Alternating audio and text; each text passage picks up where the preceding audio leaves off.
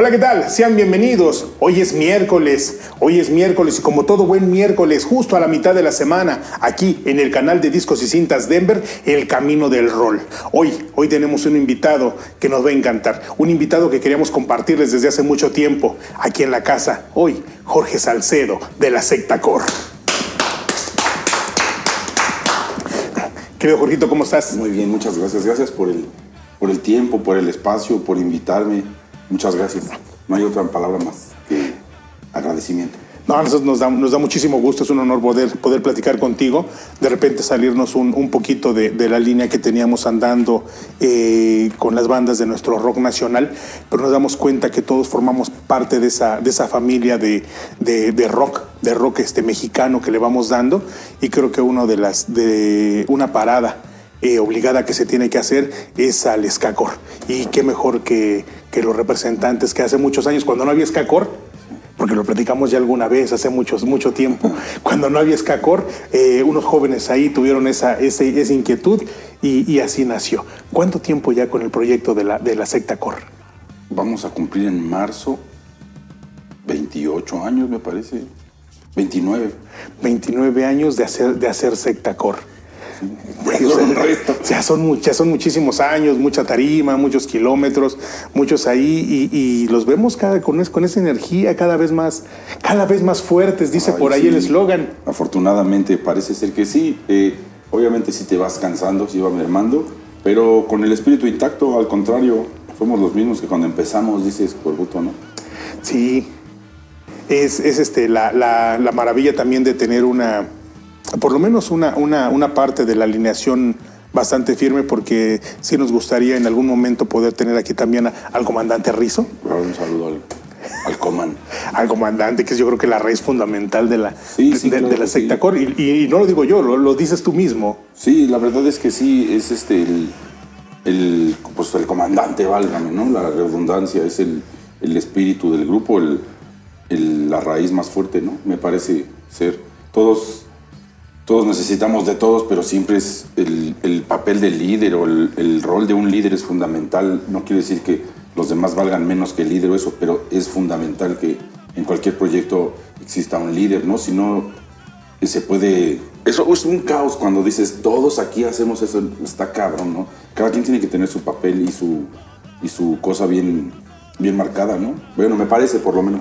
Sí, y, desde aquí quisiéramos hacerle este, la, invitación a, Miguel Rizo de poderlo tener acá. A veces, eh, si es cierto, platicábamos, se idealiza mucho a, la voz, se se idealiza mucho a quien va dando la cara al frente, pero sí tendríamos también que platicar y que darles este, este espacio a, a, estos personajes que desde, desde una trinchera diferente, pues son los que están maquinando todo y ahí, y ahí aguantando. Entonces, este, mi querido Miguel Rizo, este, aquí está tu espacio. Ojalá pronto, pronto lo, lo podamos tener, tener por aquí. Eh, Jorgito, de, de pequeño, de pequeño, ¿qué se escuchaba en casa? ¿Qué música escuchaban en casa? Pues mi papá, eh, en paz descanse, sí se asumía rocker, claro, pero escuchaba de todo, ¿no? Y como tenía grupos de música versátil, se escuchaban de todo, les gustaba a mis papás mucho bailar, eran de esos que iban a las bodas, 15 años, lo que sea, y no se paraban, no se sentaban, perdón, en toda la noche. Pues acababa una canción y se quedaban ahí parados esperando la que sigue, de lo que sea, la bailaban todas. La que viene, sí, no importa, hay que bailar. Eran muy, este, pues bailaban mucho, se divertían bastante. Eh, mi mamá tocaba, mi mamá es guitarrista también, tocaba, su grupo era de son, como de son veracruzano, son cubano. Pues había mucha música en mi casa, muchos instrumentos. Afortunadamente crecí con ese, con ese estilo de vida, afortunadamente, porque pues la música es el mejor regalo que puede existir, ¿no? Entonces mi jefe sí, sí, este, sí se asumía rocker, pero también escuchaba de todo, ¿no? Me, me acuerdo mucho de Pepe Jara, se ponía de pie siempre, ¿no? Le decía, no va a poner de pie con Pepe Jara. Y echaba flores, el piporro, ese tipo de cosas había un chingo en mi casa. Y obviamente por la edad que tienen mis papás, pues los Beatles eran fundamentales, los Rolling, mi mamá disfruta mucho al Creedence. Entonces yo crecí con todo, es una mezcla pues de mucha música, de mucha música afortunadamente. Fíjate que eso es bien importante compartirle a la banda porque además de, de, del papel que ahora desempeñas ahora ya, ya acá, eh, con, un, con un estilo bien definido. Sí, la parte musical te vemos en redes compartiendo de repente este, música que dices, ay, ¿a, po ¿a poco Jorge escucha esto?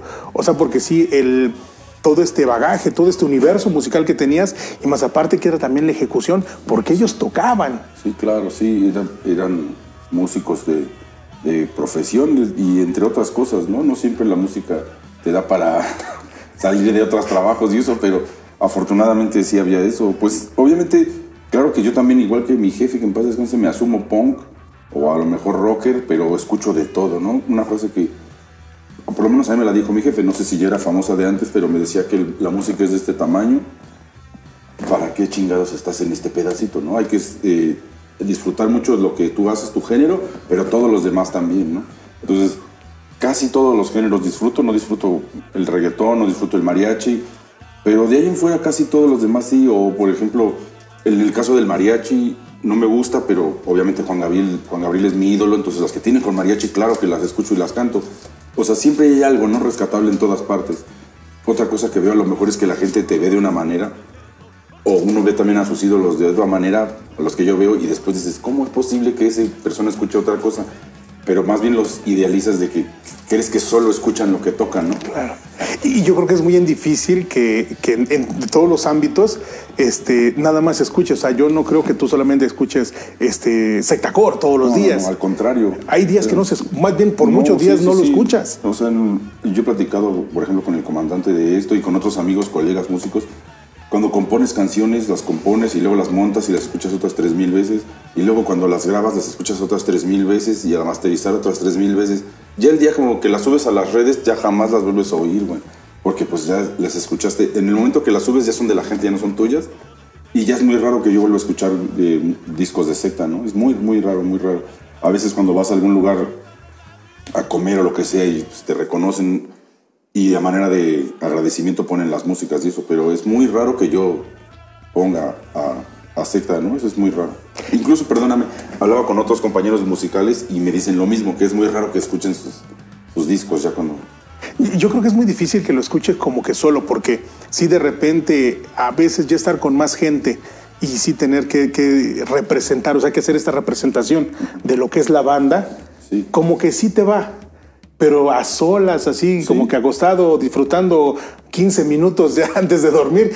no. incluso cuando estás cotorreando con la banda, pues, pongan a The Clash, no sé, pongan a X, ¿no? La banda Bosti que me encantaba y así. Pero pues no dices nunca, pongan las dices, no, esas las voy a tocar el miércoles y el sábado y así. Y las voy a pues ensayar, mejor aguante, ¿no? Pues sí, pongan otra cosa, Sex Pistols. ¿No tendrán un sangre vándaro por ahí? Ándale, sí. ¿Qué, qué sangre vándaro? Hace poquito tuvimos aquí al, al, al comandante, este, Noriega.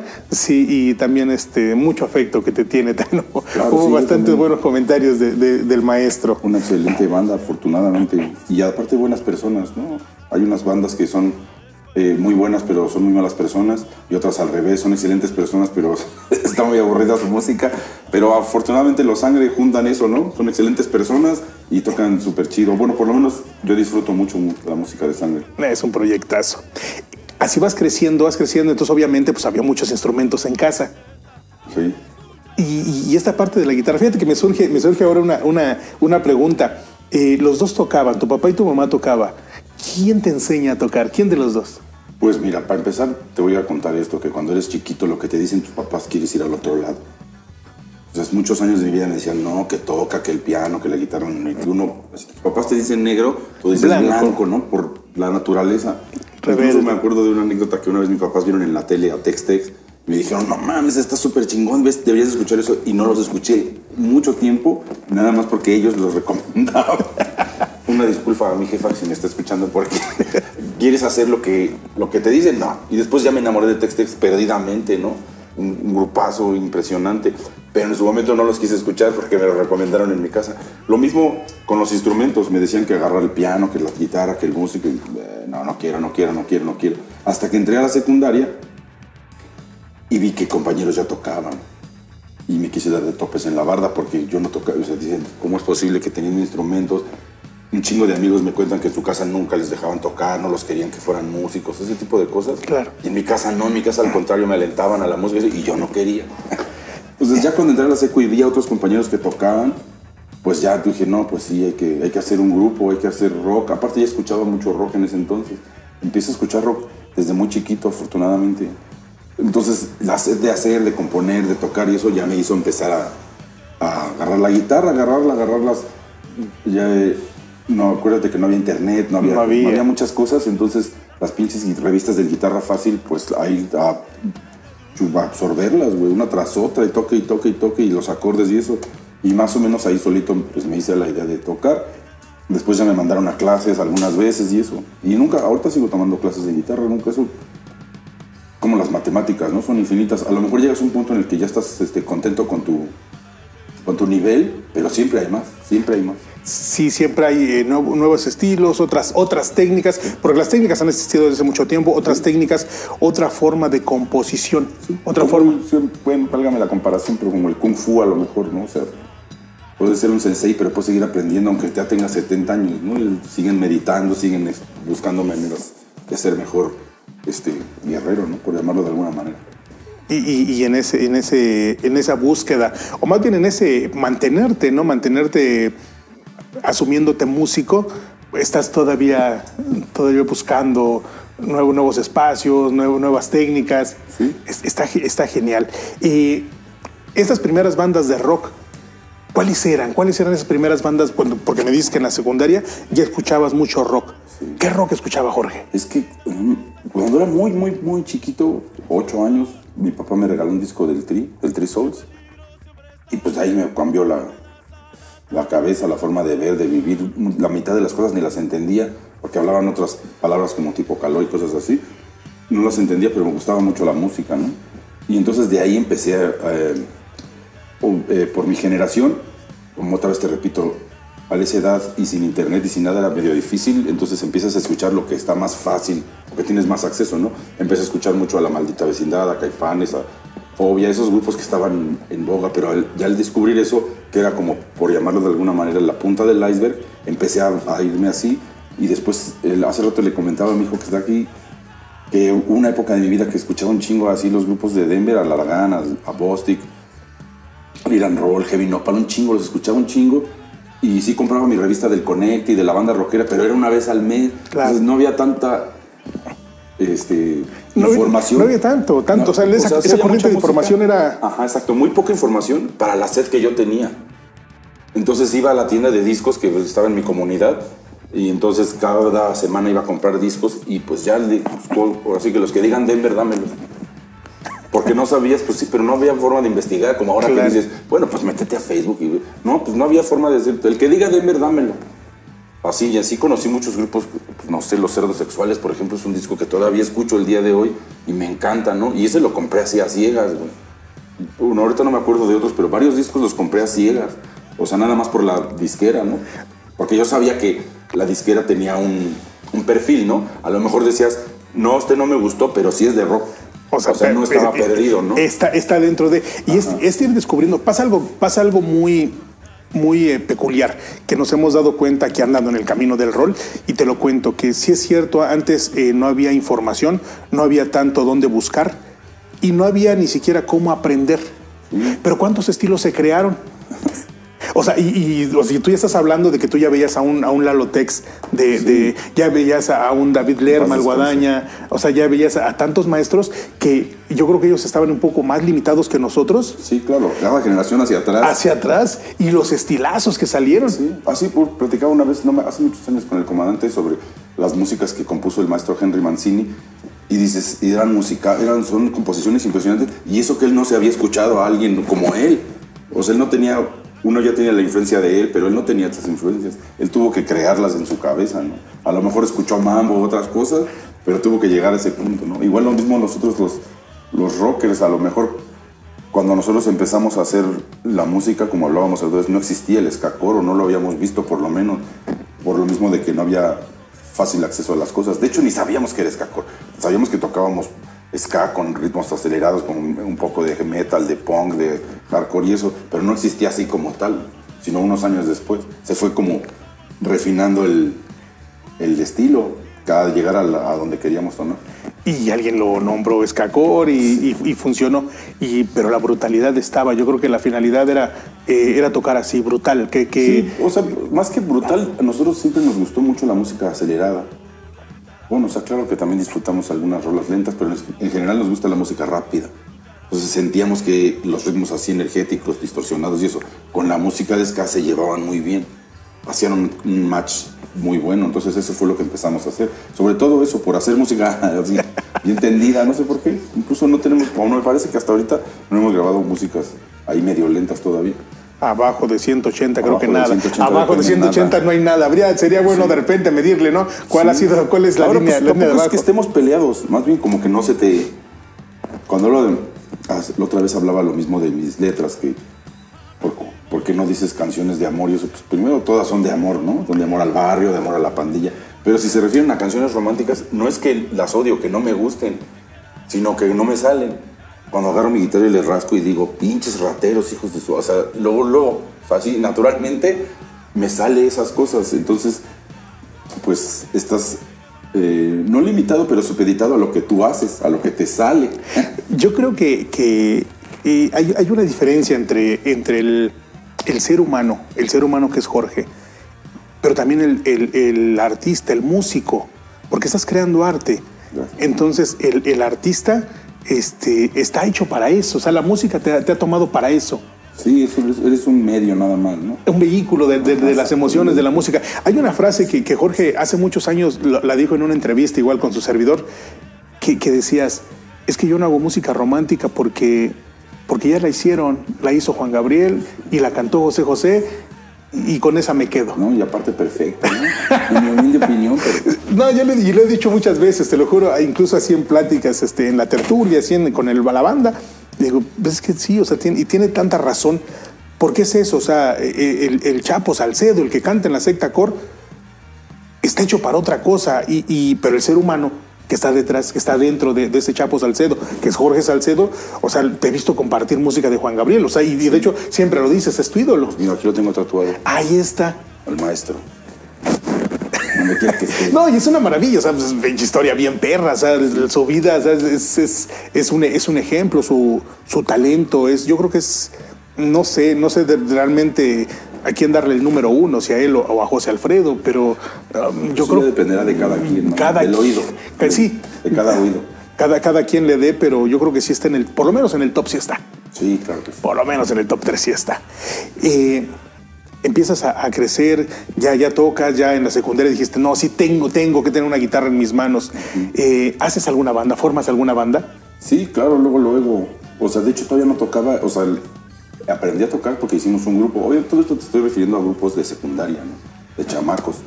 Eh, entonces, más bien, como te digo, ya llegué a la secundaria y tú ya tocas, tú ya tocas y yo tengo instrumentos, vamos a hacer un grupo. Y tú tocas, pues no, pero ahorita, Ahorita vemos. ahorita vemos.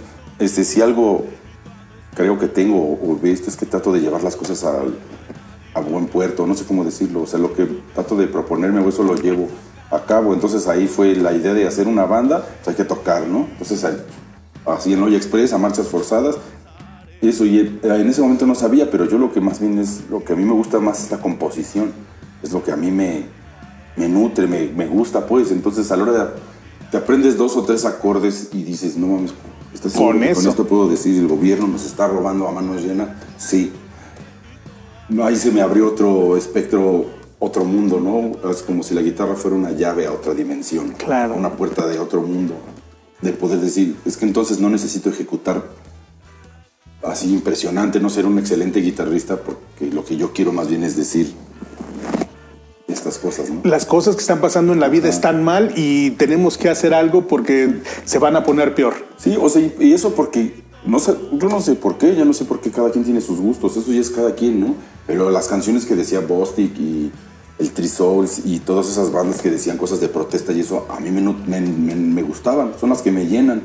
Son las que digo, ah, qué buena rola cuando habla de eso y cuando habla de que le gusta el rock and roll, de que es pandillero, de que todas esas cosas de denuncia y protesta son las que me llenan. El folclore latinoamericano habla mucho de eso porque tuvieron unas dictaduras bien feas ahí en Sudamérica en los 80, 70 y mucha música de ese tipo es la que a mí me gusta. Entonces, como te digo, yo no definí mis gustos, no sé de dónde me llegaron, pero a la hora de componer es lo que a mí me gusta también. Las bandas Tijuana, ¿no? Que tienen sus letras bien cargadas también, para mí se me hacían excelentes temas. Entonces a la hora de componer, me gusta decir esas cosas. Y además de que, te repito, no es que te gusten, sino se te salen. Sí. Porque a veces también digo, de gusto, de gusto, de gusto, yo hubiera sido delantero estrella del Toluca. Eso es lo que yo hubiera querido, pero pues yo más bien tengo afinidad y facilidad para componer. No para, para ser delantero del Toluca me tuve que haber despertado a las 6 de la mañana toda mi vida a correr y eso no lo podía haber hecho. Entonces, no es lo más lo que quieres, ¿no?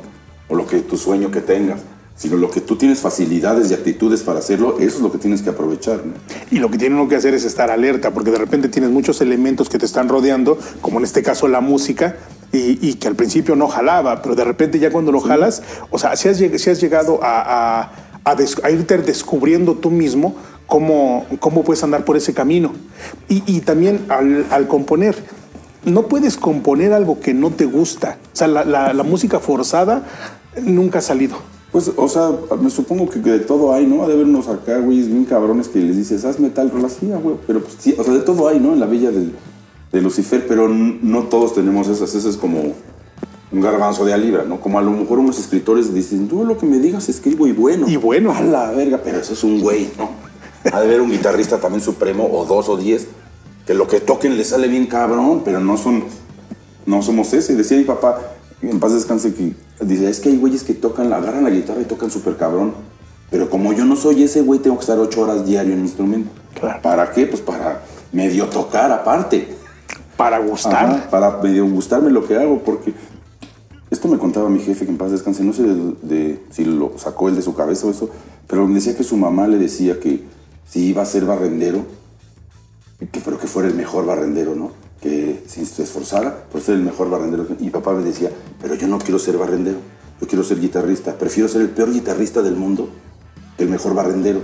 No tengo nada contra los barrenderos, pero yo no quiero ser, yo quiero ser guitarrista. Entonces decía, es mejor ser el peor guitarrista del mundo, por lo menos para mí, que ser el mejor lo que sea, ¿no? Entonces, él decía, ¿qué tú que eres guitarrista? El peor de todos, pero guitarrista pero eres tú. Eso es lo que yo eh, soy. O sea, eres, eres, tú. Sí, sí vamos, vamos a entender cuál, Otros, otros, otros, otras personas tienen un chingo de facilidad para sus cosas, sus habilidades, son artistas natos. Así, yo soy tatuador y hay unos güeyes que dices, verga, tatuas súper cabrón este men. Pero no nada más este tatuaje, si lo pinta en la barra también. O sea, es un artista multidisciplinario. Eso, güey, está bien cabrón. Uno no, pues tienes que chingarle. No hay de otra. Lo mismo en instrumento, ¿no? Y, hay una parte que sí, a mí, a mí me, me raspa mucho, la definición de el mejor. Ah, sí, también. O sea, no mames, o sea, ¿dónde están las reglas, no? O sea, me pasan la convocatoria, pues para saber cuáles son, o sea, cuáles, cuáles son las, medidas que hay que ir cumpliendo, porque, o sea, el mejor, yo sí estoy feliz. Sí, claro, eso es otra cosa, ¿no? Muchas, muchas personas se esmeran tanto en ser el mejor que olvidan la felicidad, pero pues también son libres de llevar También se vale, ¿no? O sea, también, también se vale. Pero pues en mi, en mi caso, o por lo menos en mi, en, en el mío, mis amigos cercanos, sí buscamos ser felices, estar contentos, disfrutar, cotorrear. A veces hay que sacrificar un rato la felicidad por, por llegar a, no sé cómo decirte, por tener una mejor felicidad después o algo. O sea, a veces tienes que dejar de ir a, fiestas de cumpleaños o pasar fiestas en otros... Eh, no puedes ir a donde quieras por estar tocando, eso es lo que quería ir. O sea, es por estar en el grupo pierdes otras cosas, no todo es miel sobre hojuelas, pero pues es, lo dejas con gusto porque te va a llevar a otra felicidad más grande. El camino, el trabajo y el camino que llevan a una felicidad que tú ya medio, medianamente le echaste el ojo, son lo que vale la pena ir disfrutando eso, porque sí es cierto, o sea, cuando ya, cuando ya eres músico, este, sí hay muchas fechas que no puedes estar. Te contratan para 25 de diciembre en, la, en, la, madrugada en Tijuana y tienes que ir, y ya te perdiste la cena. Sí, o sea, igual puedes, este, puedes decir, no, ese día no toco, pero pues en, en mi forma de ver la vida, no, yo nunca rechazo el trabajo. Al contrario, incluso los tatuajes o lo que sea, no sé si en qué momento se me metió ese viaje en mi cabeza de que el Dios del trabajo nos está viendo y si rechazas trabajo después se te va a voltear bandera. Entonces, como dices, sea lo que sea, sí, yo, me dedico a tatuar, pues voy a tatuar. Ese tatuaje no me gusta, pues ni pedo, güey. Tienes que, ya estás grande, ¿no? no le quites el, el jitomate al sándwich, ya estás grande y te lo Cómetelo. pues sí, ¿no? Lo mismo a la hora del trabajo. Bueno, por lo menos yo disfruto mucho el trabajo y soy un, no sé, creo ciegamente que el cuerpo humano es una máquina de trabajar. Y tienes que hacer, y tienes que hacerlo y aprovecharlo, porque igual, o sea, la vida tiene muchas etapas donde de repente igual hay, malas, malas ocasiones, donde, donde no te da. Y si te están dando otra. Y, hay una diferencia. La música es la música que haces tú que, como un regalo para la gente. Lo que te pagan es tu tiempo, tu, tu, ensayada, tu instrumento, tu transporte, la comida. Pero realmente la música es un regalo. No hay precio para la música. Sí, no, eso es otra cosa. Esa es otra cosa. Inclusive la música la compongo por la sed que tengo de componer. O sea, me, levanto un día o eso, o tienes una idea, o tienes una rola y haces música. Esa te sale, digamos, te emana. A veces no, a veces sí, a veces más padre, a veces mejor no. Pero eso es, una, eso es otra cosa. Otra cosa es el, como dices, ensayar, trabajar, cargar tus instrumentos muchos años y muchas cosas para llegar a un punto. Ese es donde la gente a veces no ve que es un trabajo en una parte, ¿no? Una buena parte de esto. Y la parte del tatuaje, porque como ahí si eres, digamos, tú eres el instrumento nada más, y si alguien quiere que tatúes algo que a ti no te convence, que ni siquiera está de acuerdo con tus ideales, porque también es otra parte de Jorge, que también esos ideales tan firmes, tanto de fe, de, agradecimiento, de filosofía de vida, son, son bastiones que te llevas, llevas fuerte y te, y te los vemos compartiendo. Entonces, pero también lo que dices, ya estás grande, ya no le quites el, jitomate, tatúate ese Sí, X cosa, ¿no? Que tengas que hacer que a lo mejor no te gusta ese dibujo, pero los tatuajes, no sé, es una filosofía gigante, es un pedo bien raro, a mí me encanta, pero no todos son dibujos chidos, no todos son lo que tú quieres, no todos son, representan para cada quien diferentes cosas, entonces no es tan fácil como decir, ah, ese no me gusta. Bueno, respeto a las personas que lo hacen así, pero yo trato de, de hacer las cosas, no sabes lo que significa para él no sé, para el cliente a lo mejor es que con esto me acuerdo de cuando era chiquito y me trajeron una pista de, no sé, X cosa o de gente que falleció. Muchas cosas que a lo mejor no son el dibujo nada más. Pero fíjate cómo es la vida. Ahora que hasta eso yo creo que le vas encontrando gusto a irte sorprendiendo con las piezas que te dicen, mira, ahora quiero esto. Sí, inclusive hay unas piezas que ve uno bien raras, bien feas y dices, no, pero es que este es un dibujo que me hizo mi hijo, oh, está súper chingón entonces.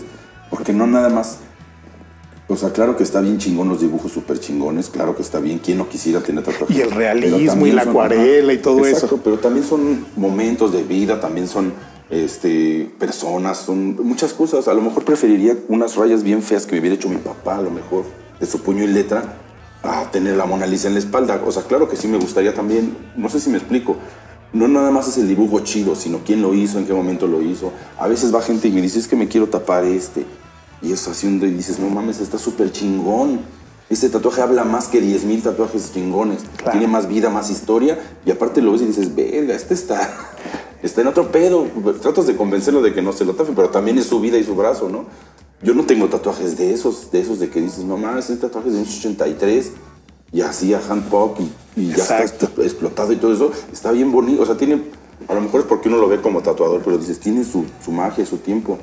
Así me, eh, el comandante muchas veces me decía lo mismo de sus camisetas, decía, es que esta está bien vieja y eso, pero tiene historia, tiene vida, sus camisetas nuevas están todas bien coloridas, pero no tienen nada, no han vivido. Haz de cuenta, ¿no? es un ejemplo así. Hay tatuajes bien bonitos por lo que son, por lo que son. Y otros también a lo mejor dices, sí, pero es que para mí representa algo que ya no quiero ver. Esa está, es una parte súper chida del tatuaje. Es la parte, la parte donde empiezas como que a entender, a comprender. Y fíjate, ya no, no sé no, no, creo que ni siquiera la edad nos vaya siendo un parámetro como para saber, yo creo que estamos entendiendo a su debido tiempo.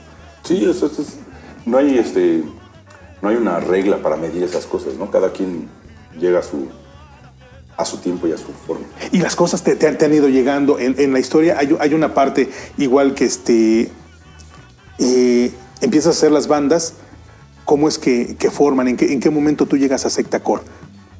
Pues estábamos, iba yo en la secundaria y el Coman iba en la prepa, pero en el mismo plantel. Y ahí había un, taller de música. Nuestro maestro Rafael Chávez nos, eh, más que enseñarnos, nos dejaba los instrumentos así, güey. Era, una irresponsabilidad para, como dejar un arma cargada a unos niños, güey, porque pues, nos, nos subíamos a tocar y a hacer y a componer. Entonces eh, nos dio la sed de hacer grupos.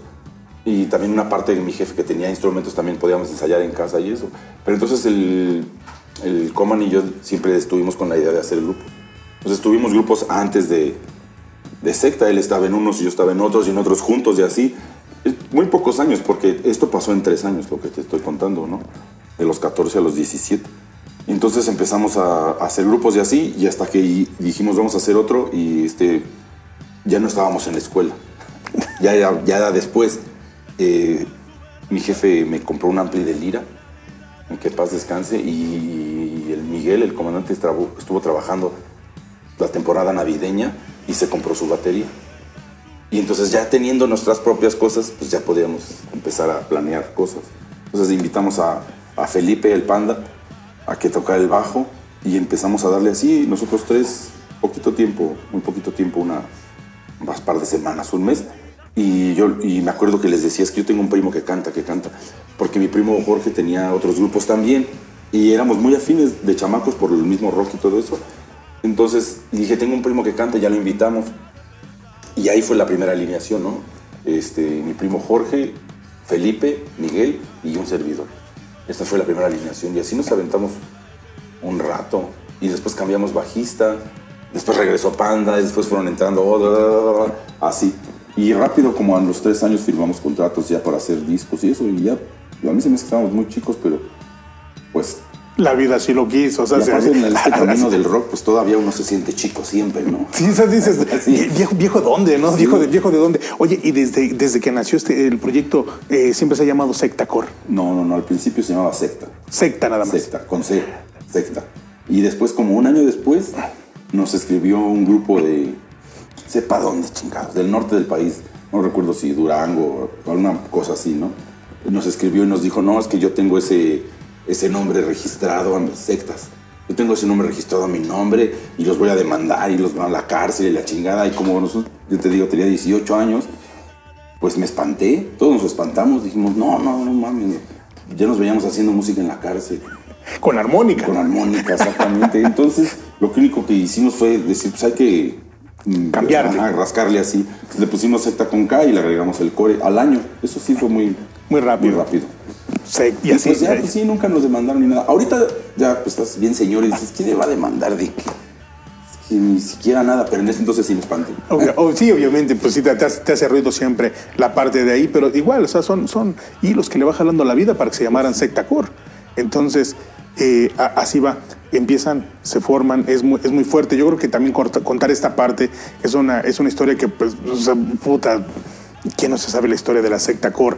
Eh, y si usted quiere, si usted lo está descubriendo, porque usted es muy joven, en plataformas digitales usted puede buscar así, Sectacor, Secta con K. Secta con K. Secta con K, Sectacor. Y ahí está el material de, de, los carnales de, de la Sectacor. Nos secta alcohol, pero ya. Ya no. Ya borramos. Sí, ya ahí tuvo que hacer, eh, reformar, reformar esa parte. Ah, hay una etapa, una, etapa bien importante en, en, la historia de la banda donde eh, ya no hay vocalista. Donde ya no hay vocalista ¿Y, cómo es ahí? A ti te dicen que lo hagas, tú te lanzas, tú te postulas. ¿Cómo llega Jorge Salcedo a empezar a cantar con la secta Cor? Lo que pasa es que el público que nos sigue es bien recio, güey. y ahorita se le ha bajado un poco, pero en su momento eran bien pesados, pesados. Entonces visualizamos la idea de buscar otro vocalista y dijimos, no, me lo van a pedrear, güey, lo van a abuchear y eso. Eh, entonces lo que se nos ocurrió más bien es decir, no, pues no va a haber otro vocalista, más bien yo voy a cantar. Y eso es como más bien como, pues alguien tiene que cantar, ¿no? Pues ya alguien de los que está aquí, pero no hay otro vocalista. Y pues sí, aparentemente sí funcionó y eso fue lo que pues tratamos de hacer. También es una mamada, bueno, pensamos, para una mamada que para el tipo de banda que tenemos, decir, vamos a ver una convocatoria, güey. Para un vocalista. Y audiciones y la chingada, eso pues no, estaba súper televisivo. Ahorita ya se le bajó un poco el coraje contra la tele a estas generaciones nuevas, pero las de nosotros, los noventeros, no vamos, pues crecimos con un odio muy fuerte hacia la televisión y, todo lo que pareciera, ¿no? Entonces tratamos de evitar ese, Sí, todas esas estrategias muy planeadas, muy elaboradas, así, no, nosotros lo hacemos porque somos rockeros, es, es, así, es rápido y, y, contundente. Sí, exactamente. Entonces lo que pasó fue eso, que dijimos, pues ya, más fácil es este, decir que no cambiamos, sino que no cambiamos de vocalista, quiero decir, sino el que alguien de los que estamos, pues ya tuvo que cantar. Va a asumir el rol desde, desde el interior. El público de, el público del ska es muy eh, tiene un sentimiento de pertenencia muy grande hacia el artista, hacia los proyectos, hacia los nombres. Y muchas veces eh, el mismo público al que le agradecemos tanto el aguante eh, no permite o es muy reacio a aceptar esos cambios. Pero sobre todo el, el- que, el que seguía en ese momento a secta, siempre hemos tenido ese, ese espectro como de un poco más, más, no sé si decirlo, pesados o agresivos o eso, pero también nuestro público es así, es más heavy y eso. Entonces, eh, ah, claro que nosotros hacemos lo que queremos y lo que deseamos con nuestra banda, ¿no? Pero también cuidamos las formas. No, no, no solo el actuar, sino las formas también. Si no, no, de repente no puedes decirle, lo voy a hacer y se aguanta. No, Sí, no puede ser. O sea, no, no solo como, como músico, sino como escucha, yo creo que yo tampoco eh, me gustaría mucho ver eso en otras bandas. Entonces, lo comparamos mucho con eso y siempre estamos comparando todo con el fútbol, ¿no? Siempre, siempre, siempre. Entonces, como cambiar de delantero a lo mejor, ¿no? De delantero a estrella. Pues no cambió, sino nada más el que los que están ahora van a meter los goles. Bueno, pues adelante, ¿no? Y obviamente, obviamente cambia el grupo. Obviamente, ¿no? Es di- diferente Claro. cambiando de, de vocalista. Habrá quien piense que es mejor, había quien piense que es peor. Cada quien está en su derecho de, de verlo como quiera. Pero sí es, un sí es evidente que es un cambio, ¿no? Cuando dicen, es que ya no es lo mismo, pues claro que no. Efectivamente, gra- Efectivamente. gracias, gracias por estar de acuerdo Ajá, o sea, conmigo, pues, ¿no? Ajá. O sea, ahora entiendo que a alguien ya no le guste. Diga, es que a mí me gustaba cuando tenían ese vocal. Perfecto, qué buena onda, pues ya no está ni modo. Pero hay mucha gente que también dice, a mí me gusta más ahora. Y otros que dicen, a mí me gusta igual. O sea, de todo hay. En México por lo menos somos 140 millones, ¿no? O sea, de todo hay. Claro. Nada más el chiste es no, bueno, en mi opinión es no enfrascarse con, con las cosas y eso, ¿no? O sea, cuando hay gente que de repente me escribía, no, que cantas de la chingada, que salte, que nos grites. Güey, ya le escribiste al comandante Cienfuegos para decirle que es un ojete, güey. Claro. Asesino. ¿No? Entonces, ¿cómo desperdicias tu vida en decirle, güey, que canta feo? Claro. Eso es pendejo o banal, no sé cómo decirlo. A mí se me figura eso. Ya escribiste así a la Sedena de decirle que no están haciendo nada. Digo, no, no, bueno, pues estás en tu derecho, ¿no? Oh, No, y al final, y al final No de cuentas, mames, o, ¿no? o sea, sí, sí tiene razón, porque también, o sea, yo, yo, yo creo que, que decir que la, la primer secta me gustaba así, a todos nos gustaba, a ti te gustaba. Claro, claro, son mis canciones. imagínate, Exacto. Y hay un cambio. compuse. Al principio, obviamente, siempre hay un tiempo de adaptación. Yo creo que al principio igual, o sea, llega a vivir inseguridades, todo eso. Ya después te va a gustar. Yo ahora te veo muy cómodo haciéndolo, te veo ya muy convencido. Y, y a la gente le ha encantado, o sea, siempre, siempre lleva, y sí tienes razón, de repente alguien detrás de- del monitor, eh, eh, lo que le llaman ahora tirar hate, ¿no? Ajá, sí, sí, sí, la chaviza. Lo que le dice la chaviza. Sí, no, de- de- el hater. Se les agradece un chingo porque pues, ya nos dio una vista, ¿no? Entonces ya ganamos como, como medio centavo. Ya ganamos como medio centavo, ya le agradecimos. Pero sí, de repente, el también entender que ojalá, ojalá siempre fuera bueno y ojalá nos duraran las alineaciones siempre. Nuestro rock, ¿cuántas alineaciones habrán pasado? Y, y- claro. y todavía le faltan, todavía muchas. Sí. No, y pues uno va viviendo al día, ¿no? No soñando nunca en lo que va a pasar ni viviendo del pasado. Pues uno va donde el rock and roll lo lleve y ya. No, no, no espero nada. Espero divertirme, espero pasarla bien, que la gente cante y eso. Pero también, si la- el día que la gente no vaya a verme, entonces sí ya no hay proyecto, aunque quiera. Claro. O sea, la gente pone mierda en internet a veces, pero vas a la tocada y está hasta la madre y se la están pasando bien. Yo prefiero eso a que fuera al revés, ¿no? Que la gente por internet diciendo, no, está bien chingón, pero llegas a tocar y no hay nadie. Entonces ahí ya aunque quieras, ¿no? Aunque quieras seguir haciendo, si no hay nadie, ya no hay nadie. El motor fundamental Ajá. de la música es la raza. Sí, y aparte pues a uno, claro que ama la música, pero también el escenario. O sea, no soy de los que digo, ah, yo con tocar en mi cuarto estoy feliz. La neta, ¿no? No. O sea, me gusta ver a mis amigos, me gusta subirnos a la camioneta, toda la experiencia de, de vernos, ensayar, cotorrear, subirnos al escenario, cantar. Todo eso me gusta, no solamente la música, sino también el escenario. Entonces, mientras se me permita, mientras haya gente que quiera vernos, que tenga sed, que haya oídos que quieran escucharnos, pues ahí vamos a estar. Y, y lo que te decía, la composición es otra cosa. La composición en mi caso, o en el caso del Common, no sale, porque pues también tenemos otros discos, no nada más secta, tenemos varios discos cada quien Claro. y hacemos música de otras. ¿Por qué? Pues porque no nada más estás en este proyecto, porque la música te, te- no sé cómo decirlo, no te deja de girar la piedra nunca, güey. Claro. Siempre hay algo nuevo que decir, siempre hay algo nuevo que tocar. Y, y en ese, y en ese afán de, de ir acomodando, han, han tenido como, creo que la cordura de acomodarlo en diferentes proyectos. Porque además de Sectacor tienes un proyecto, eh, no, tienes varios proyectos. Había uno, eh, Asmodeus, Asmo- ese sí es Asmodeus Salcedo, sí. Asmodeus Saucedo, Sa- Salcedo, perdón. Y tengo Eh, otro que es Señorita Cometa. Son discos nada más, no son grupos ni siquiera. Señorita Cometa es un disco que se llama Magia Negra. El Asmodeus Salcedo es un disco que se llama Morty Próximo. Está bueno. Tengo el disco de Skakor Killers, con eso sí hemos tocado algunas veces. Y tengo otros dos discos con, con mi carnal El Cráneo, que hicimos un proyecto que se llama Rabia. Y esos dos. Es- tengo esos cinco discos, aparte de Secta. Y aparte ahorita pues ya estoy haciendo otros. pero, te repito, no me deja de girar la piedra. ¿no? No deja de salir, de, de estar. Sí, y aparte, pues grupos, ¿no? También he tocado con otros amigos, les echo la mano cuando no tienen guitarrista, porque me encanta la guitarra, ¿no?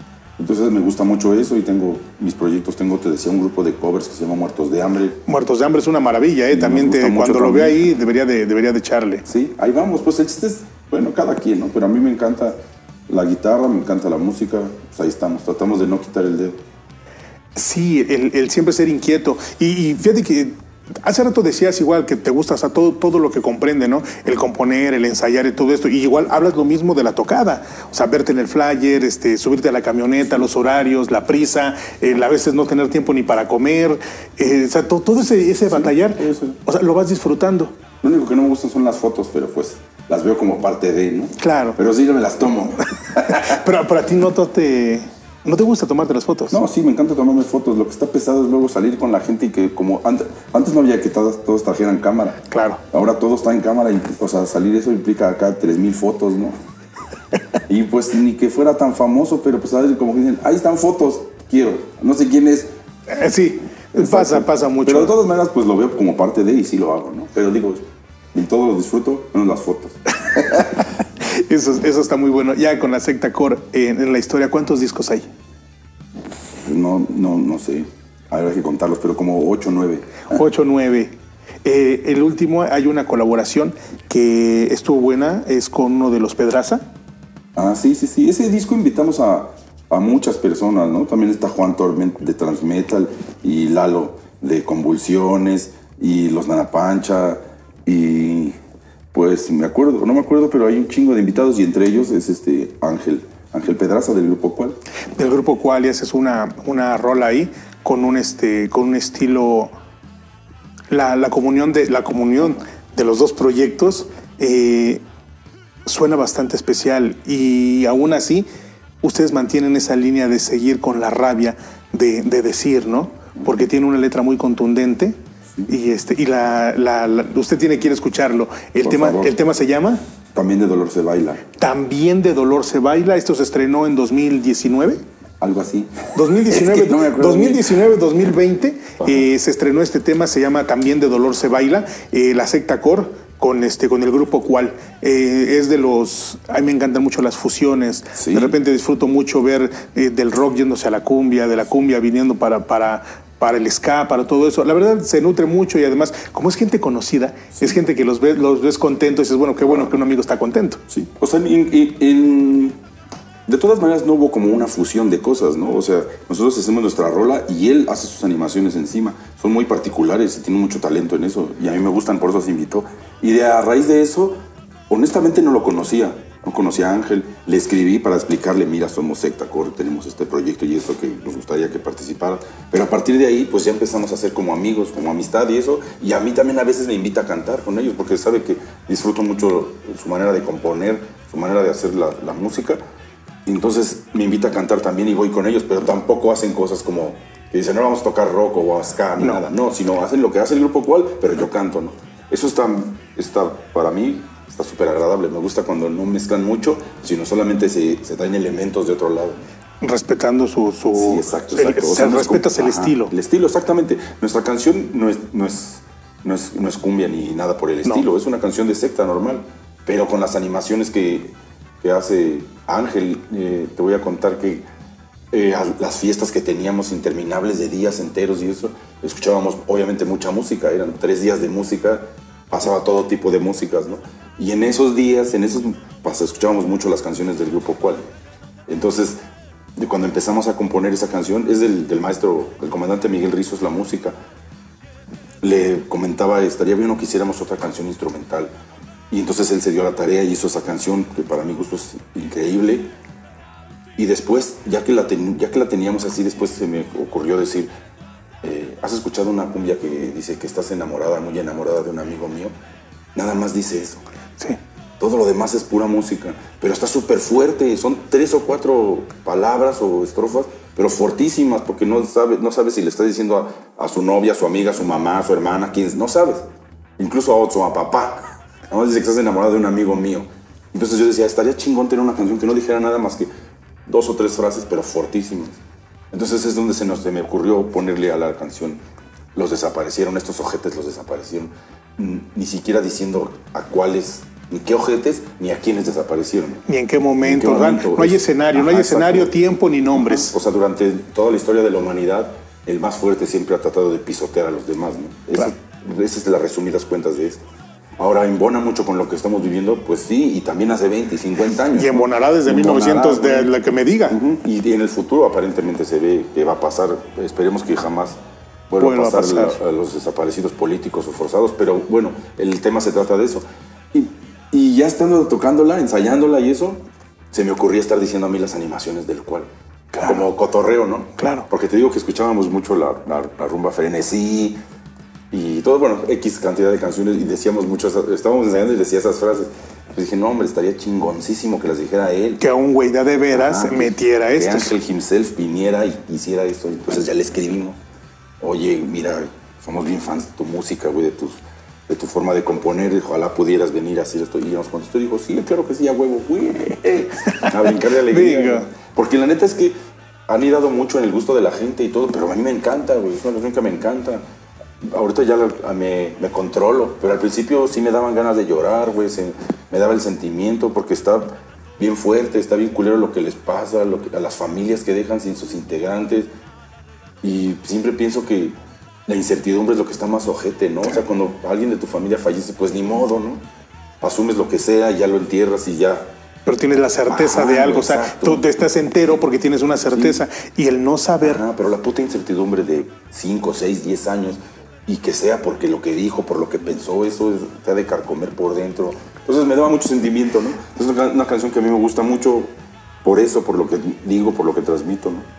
Sí, yo creo que las de repente deberían de tipificar esas aberraciones como violaciones y secuestros más que un homicidio, porque es morirte todos los días. Sí, es exactamente, exactamente, como sea el... O sea, no digo que esté bien ni se confara ni nada, pero, pues pero morir ya... Hay una certeza firme donde ya te ya dices, va. Exacto, pero otras cosas están diez veces más feas, ¿no? Es un gusto escucharte y de repente decir, o sea, tener a alguien que representa una persona viva que le encanta trabajar, ya lo acabas de decir, y, tienes esta, esta, esta, versatilidad, ¿no? De, me gusta todo, yo veo a alguien que le gusta todo, o por lo menos le doy una oportunidad, o sea, bueno, vamos a escucharlo, ¿no? Claro, sí. ¿Ya me gustará o no? Ay, sí, exacto, y hay muchas veces que hay canciones que están súper chingonas y dicen cosas que no están tan interesantes, y otras canciones que dices, no está tan buena la, la rola, pero está diciendo cosas bien fuertes, o sea, de todo hay. Hay muchas cosas, incluso hay canciones de, bueno, no voy a decir de quién, pero artistas que me ponen de malas, güey. Pero lo que me admira es que transmite. Claro. Dices, no, bueno, no la voy a poner, no soy su fan, pero qué buena onda que ese güey compuso algo que me transmite así estar de malas o lo que sea. Alegría, enojo. Eso es lo que tiene su, su valor la música, ¿no? Claro. Eso está bueno. Para Sectacor, ¿qué viene para adelante? Pues estamos preparando un nuevo disco siempre estamos preparando un nuevo disco, ¿no? O no un nuevo disco, pero siempre estamos haciendo rolas, haciendo música, pero ahorita ya estamos con ese, este, con ese plan, pues, no nada más de cuando compones en casa, sino ya estamos haciendo la tarea de hacer un, nuevo disco, que nuestro plan es que salga este año, ¿no? Incluso no que salga el, 29 de diciembre, sino que esperemos que salga en octubre, noviembre. Eh, y pues tocar, tocar lo más posible, tocar, siempre nos ha encantado tocar, como te digo, ese es nuestro manera de ver, de vivir, este, de eso comen mis hijos, de, tocar, de todo. Entonces para mí es súper importante no dejar de tocar nunca, ¿no? Espero. Eso, eso, sería maravilloso. Eh, en la pandemia hubo un parón para todos y ahorita ya empieza a haber este, otra vez eventos, ya te empiezan a presentar, ya vienen los carteles. Eh, la gente tiene mucha hambre de verlos. Sí, afortunadamente, pues nuestro público es este, bien fiel, le gusta mucho secta, se los agradecemos infinitamente, de rodillas. Y pues ahí viene, la gente sigue escribiendo, sigue pidiendo de todas partes del país, del continente, de todas partes afortunadamente hay movimiento. Y se ve que pues El, este año se ve que se va a poner bueno, pero el que entra se ve que se va a poner Se va a poner mejor. Parece que hay mucha gente que le quiere, le quiere apostar a los eventos en vivo, a seguir haciendo cosas. Se quedaron también las sesiones en vivo, de que con la pandemia se pusieron top y parece que van a continuar. Hay mucho proyecto. Jorge, y hablando a futuro, porque te veo, porque te seguimos en redes, eh, ¿ves a tus hijos en el escenario? Pues todavía no, no, no, los visualizo, pero pues ojalá que sí hagan lo que quieran. Lo que veo es mi hija es que ya está agarrando los tatuajes, el tatuaje, y eso me, me hace sentir súper contento, súper orgulloso. Y mi hijo eh, es un entusiasta del rock, eso también, pues imagínate lo que, lo que sientes, imagino lo que sintió mi jefe también cuando yo le prometí que iba a escuchar rock, ¿no? Entonces eso, pues eso, todo eso te llena, pero independientemente de eso, pues son tus hijos. Si él me dijera que no, que le gusta el chachachá, pues adelante. Y estaría yo bien contento comprarle los discos de chachachá, ¿no? Me gusta mucho que le guste la música y me gusta mucho que a mi hija le gusten los tatuajes y, expresarse por medio de la tinta. Pues todo eso es- te llena, pero pues son tus hijos, obviamente están contigo y pues, son lo que visualizan. Estoy muy contento y muy orgulloso de ellos.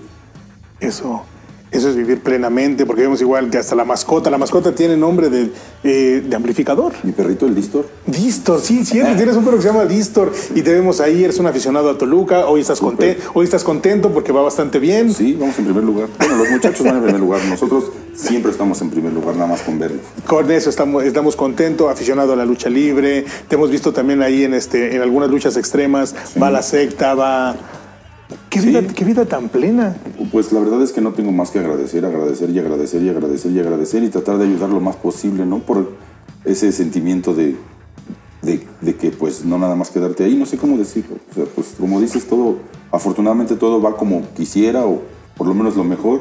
Me gustaría ser astronauta, pero no voy a ponerme a estudiar ni a hacer nada para ser astronauta. Entonces, así estamos bien, ¿no? Tratar de ayudar, como te digo, donar lo más posible a instituciones que ayudan a niños de la calle, hacer tocadas para eso. Vamos a hacer un festival el 4 de, de noviembre, Skakor Day, donde todas las ganancias son para los niños de la calle, todas, absolutamente todas.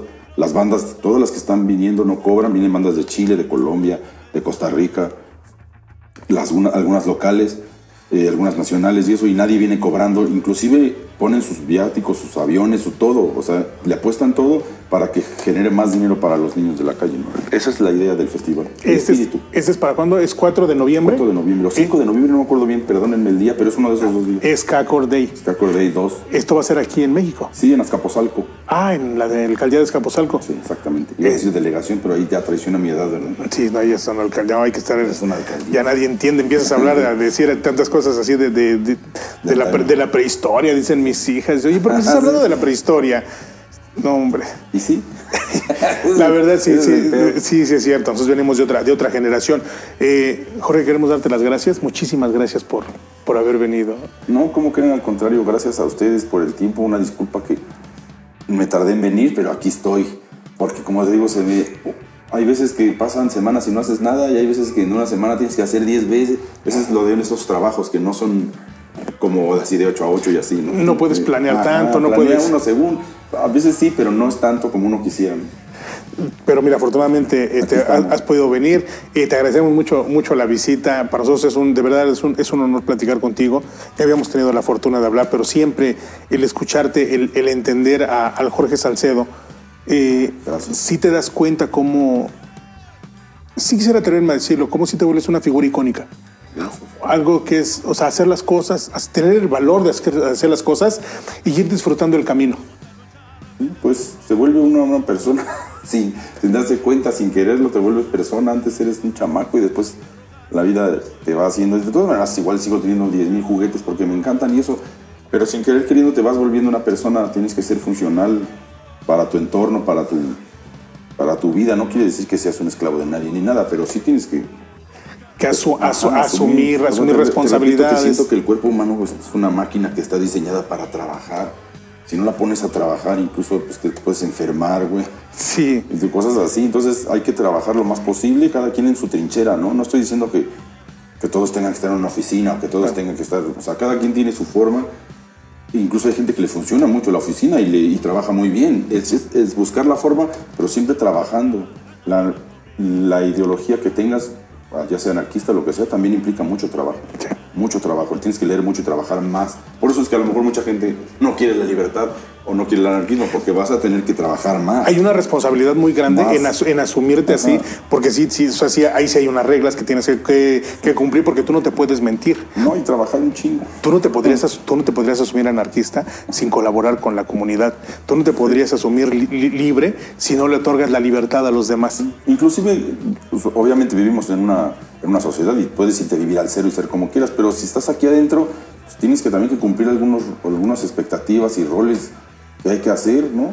No nada más es decir, no, es que yo soy anarquista y voy a salir desnudo a la calle. Pues, güey, si quieres salir desnudo, sí se puede. Pero entonces en el cerro, güey, aquí tenemos otras reglas, ¿no? Normas. Tampoco me refiero a las así, al manual de Carreño y esas mamadas, ¿no? Sino nada más hacer el entorno mejor.